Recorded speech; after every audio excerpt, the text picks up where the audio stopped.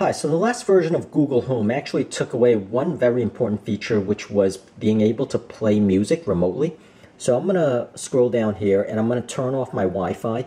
So I'm actually on the cellular system. So you see that I have the 5G right there. And I'm going to now bring up my Google Home.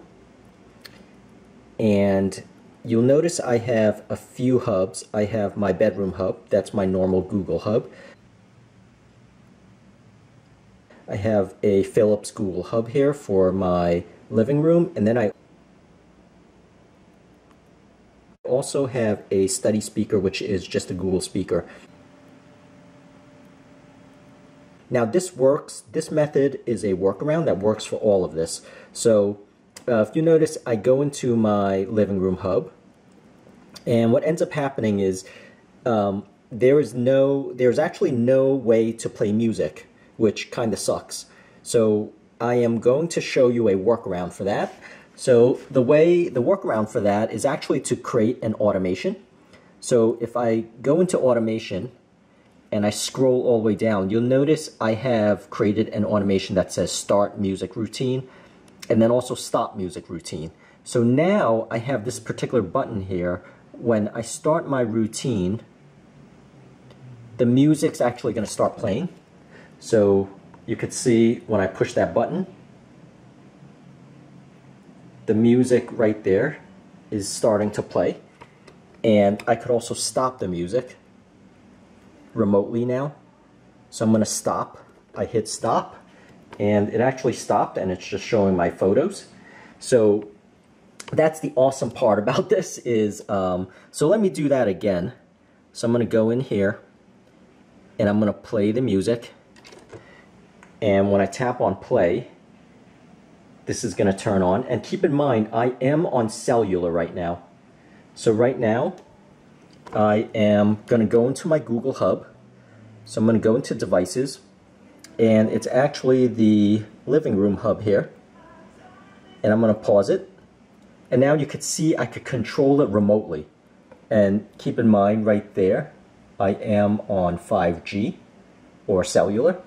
And I could even skip tracks now. So I could play, I could skip tracks. But it doesn't show me the, the uh, basically the song that's being played. So that's an unfortunate aspect of it. Now, if I want to pause here and I go back, let, let me just go step by step on actually how to create the automation. So going down here to the automation, I'm going to click on the add at the bottom. So for example, if I scroll all the way down, usually it's up at the top. I'm going to scroll all the way down and I'm going to do the add automation button, which is just the add button right here. And when the add button's right there, it'll give you, you want to share this automation with the household or just personal. Lots of times it doesn't matter um, if if you have household, it's going to show up in everyone's phone within your household. But I'm just going to choose personal. And now it's going to ask you for the starter. So in my case, I'm going to choose the starter. And I'm going to actually choose a specific time. You have to choose a starter. So what I did was I chose a specific time. And then I, I just unchecked all of these. And then I'll say play it at 7.30. So I'll play it at 7 a.m. And then I'll also set another starter that says stop the music at 7 a.m. So I'm going to hit set. And now, now I'm going to add a starter. So, or I'm going to add an action. And it, the action has a bunch of choices here. I'm going to add the media choice, which is down here, play and control media. So let, let me just go back. I'm going to say play and control media, and I'm going to choose music. But you could choose news, you could choose radio. And I'm just going to have uh, like the, the phrase that I'm actually going to say. So before, um, for my playlist, I'll say, I'll, I'll type out, you know, play my YouTube music playlist, favorite playlist. Uh, so that's what I typed in and let me just go back. And then after you do that, when you're choosing the speaker, it's all the way down here. You know, so, so, or the device is all the way down here. So, so that's where you want to choose your device. So just keep that in mind that, um, you know, so, so after you choose your starter, which is a particular time or a command that is spoken or, or whatever other method there is. So there's various other methods. So after you choose the starter and after you choose the action, you do want to choose the device it's acted upon, which is in the bottom. Whoops, I, uh, pushed the wrong button here. Um, but which is at the bottom right here, you know, the device that you want it to act, activate on. You could choose the other action which will stop the music like at 7.01 a.m. or maybe just 7.30 a.m. You know, so, so if I go back to my other, my other automations where I stopped and stopped the music, you'll see my action here is stop music.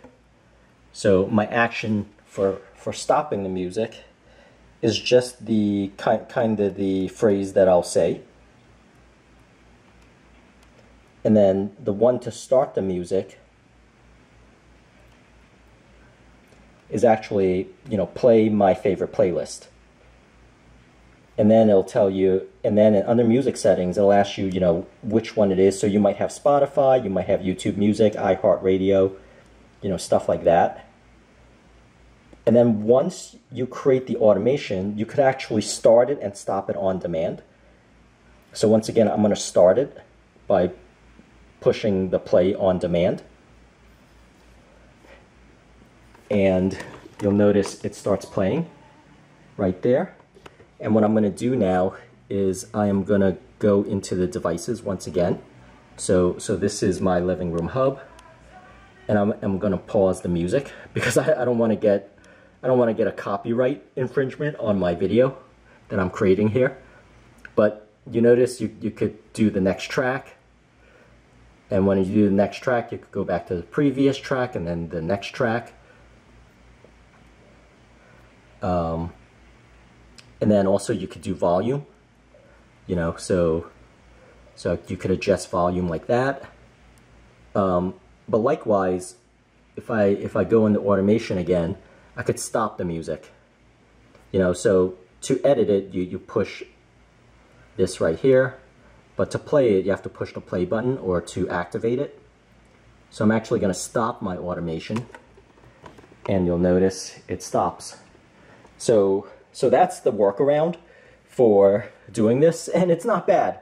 You know, it's it's um, you know, it mimics the previous behavior. It's a shame that they took it away. Um, you know, the more straightforward method. It kind of sucks that they did that, but hey, um, at least you're able to mimic it by using automations here. Um, now I did do the start and stop because just in case this automation kicks off, um, and I forget to manually stop it, it's going to play, I think it's going to play nonstop, or usually it'll play for like three hours, and then it'll ask, do you want to continue? Um, and then maybe it'll just stop automatically, but just in case it doesn't do that, I have the second automation to stop the music. So just, just stopping the music and, um, you know, half an hour later.